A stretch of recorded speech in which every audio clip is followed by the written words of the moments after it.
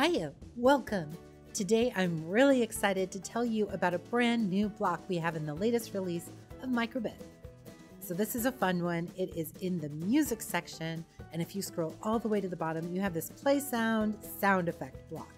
I'm gonna bring it into my workspace, and if you click this little plus button here, you'll see that a couple parameters pop up.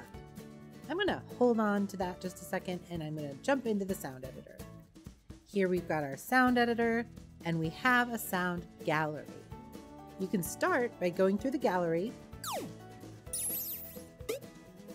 and getting an idea for some of the sounds that are available. Let's start with a laser sound. So I've brought the laser sound into my editor and I'm going to click play. And that's great, but maybe we want a different laser sound.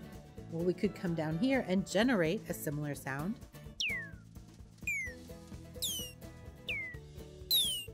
or we can edit this ourselves. So if we want the sound to start out a little higher or a little lower, we can modify this here. If we want it to end a little higher or lower, we can modify this here. Or we can make the sound last a little longer. Great.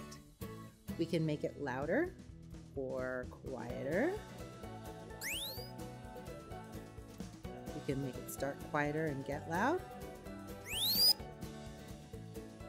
And we can change the waveform. So here it's in a square. You can make it a sine wave, sawtooth, triangle, or noise. Huh. I'm going to move it back to a square waveform and you can give it a vibrato, tremolo, or a warble. And then the interpolation is how quickly it goes between each pitch or frequency. There we go. Now we have our own custom sound. If we close out of here, we'll see that our frequencies transferred over to these boxes. And if you click plus, you'll see that the volume transferred over to these boxes too. From here, if you want, you can change the values right from the parameters. Fun! Now that you know how this block works, let's do something amazing with it. I'm going to come and grab a forever block and put my beat in there.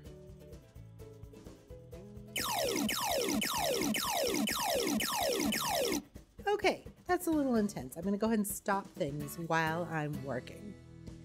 I want to play with the frequency, the start frequency and end frequency of the sound. And I'm going to do it based on the micro:bit itself.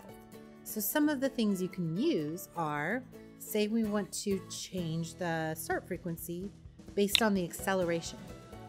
And then we want to change the end frequency based on the compass heading. Okay, let's see what this sounds like.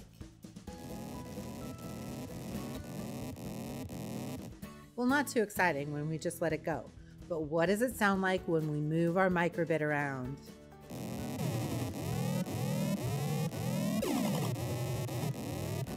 Okay, that was really interesting. But let's change this bass sound a little bit. Let's make it a sine wave form. Let's put the effect as none. And let's change the volume a little. And now let's see what we've got.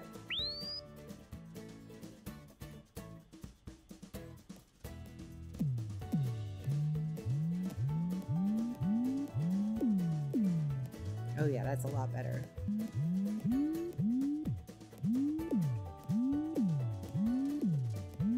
Mesmerizing.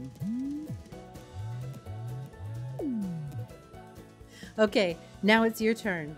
Hop into the new version of micro:bit, go into the music category, play around with the music editor, and then don't forget to download it to your version 2 micro:bit when you're done. Happy coding!